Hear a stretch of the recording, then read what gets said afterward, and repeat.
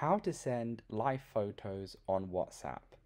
First of all, go to the photos on your device, click on the live photo you want to send, then click the bottom left hand corner where you see the upwards arrow in the box. Once you've clicked on that icon, you want to scroll down until you see save as video. Click on that. Next, you will want to go to the videos on your device. So for me, I'm on the iPhone.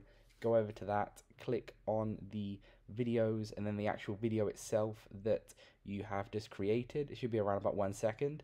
Then you want to click again at the bottom left hand corner and then you want to click on the WhatsApp app icon. Then within there, you want to click on the person you want to send it to. So I've ticked that one on the right hand side, then click next at the bottom right. Once you're in there, you want to make sure you click GIF at the top right hand corner. If you want it to look like a live video, live video or live picture, you can click the video option, but either which way, click the bottom right if you want to do a GIF or a video. Then it's going to send that live photo that you've taken. So leave a like on the video if it helped and subscribe for more helpful videos.